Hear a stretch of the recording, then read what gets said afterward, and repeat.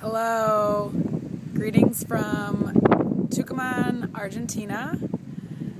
I'm sitting here uh, at the polo fields and we are uh, riding horses. These are Gerardo's horses.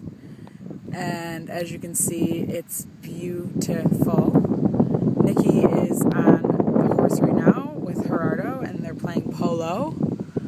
And I'm going to be riding soon. Oh, Nikki just lost her hat.